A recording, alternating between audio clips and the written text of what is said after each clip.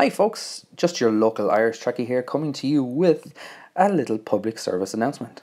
If you have Netflix UK and Ireland, you are a lucky person because they have recently introduced all of the Star Trek series and seasons. So if you want some original, animated, next generation, Deep Space Nine, Voyager, or Enterprise shenanigans, go get your Trek on. And I say that to you and yours with the most enthusiasm I can deliver.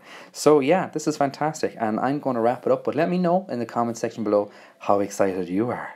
So, I will leave you with this live long and prosper. And see you in the next video. Bye bye.